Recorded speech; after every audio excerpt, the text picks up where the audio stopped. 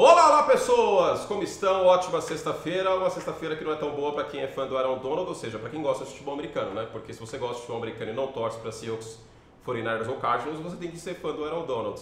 É uma semana de muitas notícias, né? A gente teve o Keenan Allen nos Bears, que já teve vídeo, já fiz dois vídeos para os membros, tá? Falei sobre o Marquise Brown nos Chiefs, falei sobre... o que mais que eu falei? Ah, sim, os Vikings trocando com Houston. E vem mais vídeo pela frente, semana que vem tem mais conteúdo, a gente aos poucos vai mudando a chavinha para o draft, mas ainda tem um caldinho de free agency para a gente falar.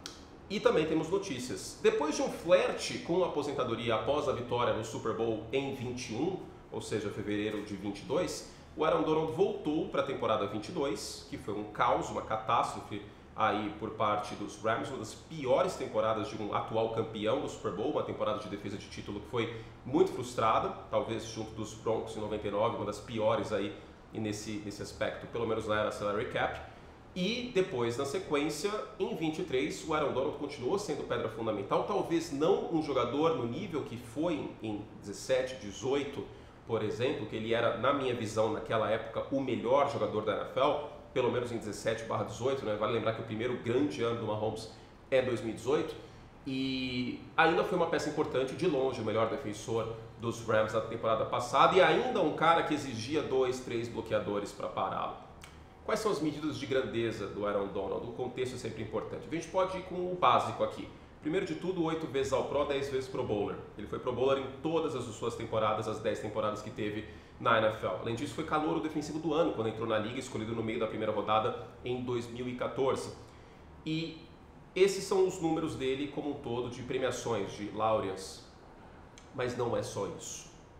Se a gente for pegar o número de sacks do Aaron Donald da sua carreira, são 111, ele é o número 40, ele é o quadragésimo na história. E aí pode parecer que ele não é um jogador tão impactante.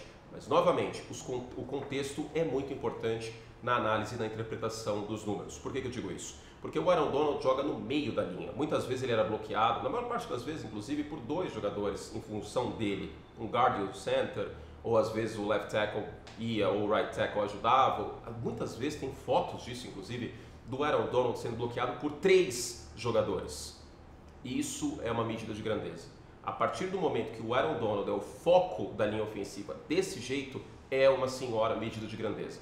Agora, se a gente pegar em volume, 10 temporadas, 111 sacks, 40 da história, ok, mas sack não é a única estatística. Primeiro de tudo, o Aaron Donald tem 11 sacks por temporada, portanto, sendo um jogador de meio de linha. É muito mais difícil você acumular sacks no meio da linha do que jogando na ponta da linha. Se a gente fosse fazer uma adequação do IPCA na inflação dos sacks, pegando os números dele e passando como se ele fosse um jogador de ponta de linha, é como se ele tivesse 15, 16 sacks de média por ano. Isso é absurdo de bom. Isso é absurdo de bom. A gente está falando de um jogador que mudou o jogo. E jogadores que mudam o jogo merecem um vídeo à parte quando eles se aposentam. A gente está falando de um dos maiores defensores da história da NFL. Eu ainda não fiz uma lista como essa, e Lawrence Taylor continuará sendo o número um, já adianta, mas é possível até pensar com carinho em colocar o Aaron Donald como um top 5 na história. Porque para mim, indiscutivelmente, e olha, tem grandes jogadores de miolo de linha defensiva na história da NFL, mas para mim ele é o melhor jogador de meio de linha. O impacto que o Patrick Mahomes tem em termos de talento e produção e fazer coisas que a gente não via antes com frequência, talvez visse com o Damarinho, mas enfim, na posição de quarterback, são coisas que o Aaron Donald faz como jogador de, ou fazia, ou fez, como jogador de meio de linha defensiva.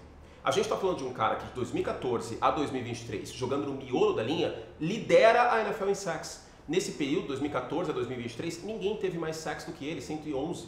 Se a gente for pegar impressões, ele também é líder. 365 pressões no período, jogando no meio da linha. Aí vocês podem virar e falar, bom, mas o Nick Bolsa estreou depois, obviamente de volume ele vai ter menos.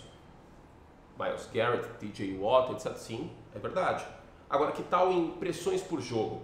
Impressões por jogo são três mais ou menos. Ele é top 10 nesse período em impressões por jogo e em sacks por jogo, jogando no meio da linha defensiva. E olha que o 22 dele não foi aquela coisa. E o 23 também não credenciou o Aaron Donald para ser um defensor do ano. Ele não era mais o melhor defensor da NFL. A gente tem uma geração absurda de edge rushers aí que merece muito valor, né? Miles Garrett, D. Watt, Nick Bolsa, Miles Garrett, etc., Max Crosby, etc., etc. Mas é isso, é um jogador cujo impacto é medido pelo contexto. Que tal outro contexto para vocês?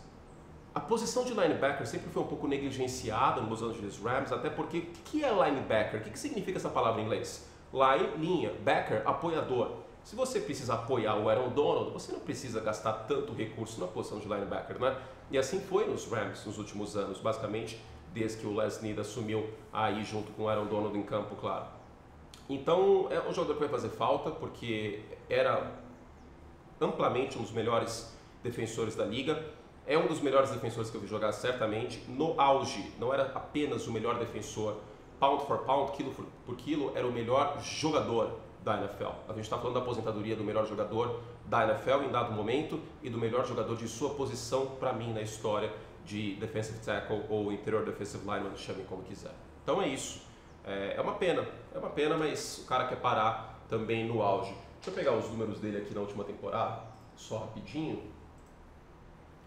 Foram oito sacks né, na última temporada, que, e ó, 22 e 23 ele não passou de 10 sacks, né? Não era mais o Aaron Donald que a gente conheceu, 32 anos, então eu acho bacana isso dele querer parar no auge também, né? Pra gente ter, é, é, a, é o protocolo Pelé, né? Você parar no auge para que as lembranças sejam as melhores possíveis. Eu acho que as lembranças do Aaron Donald vão ser as melhores possíveis. Sobre os Rams, obviamente, eles têm escolha de primeira rodada agora, né? Se quiserem endereçar a posição, podem assim fazer, ou no segundo dia, enfim. E é isso. É isso. Um, um, uma sexta-feira agridoce nesse aspecto, mas também é importante a gente celebrar aí um dos maiores defensores da história da NFL. Fizemos todos podíamos, um beijo carinhoso, tá acabando esse vídeo aqui, mas avisando aqui, aviso da paróquia. Eu já fiz vídeo sobre os Chiefs com Hollywood Brown essa semana, hoje também fiz um vídeo sobre os Vikings trocando para ter mais uma escolha de primeira rodada, duas escolhas na primeira rodada, 11 a 23 para quem sabe subir por um cornerback, seja o Drake May ou eventualmente o DJ McCarthy, vamos ver o que vai acontecer. E tem mais vídeos chegando aí. A gente precisa falar de outros times na free agency, arredondar algumas arestas para ir mudar a chavinha de vez para o draft NFL. Um beijo para vocês. Lembrando que a gente está chegando a 100 mil inscritos. Espero chegar a 100 mil inscritos com um especial, com um cenário novo. E é isso, estou muito feliz uh, de, de, poder continuar produzindo. Eu senti falta no final da semana passada por estar em mudança. Para mais sobre Aaron Donald, também tem o ESPN League hoje às 18 horas, tá? Um pouquinho mais cedo o League e a gente vai comentar certamente sobre isso lá também, tá bom? É isso. Ah, eu tô triste. Era muito bom ver o Aaron Donald. Eu estou triste porque eu tive a oportunidade de comprar a camisa dele e não comprei. Agora vai dar mais trabalho para comprar isso aí. Triste isso, né? Mas enfim. Agora o Chris Jones é o melhor jogador da posição, inclusive, né? Inquestionavelmente. Acho que já é, né? Todo respeito ao Aaron Donald, mas o ano passado já é. Agora sim. Beijo carinhoso, até a próxima. Tchau.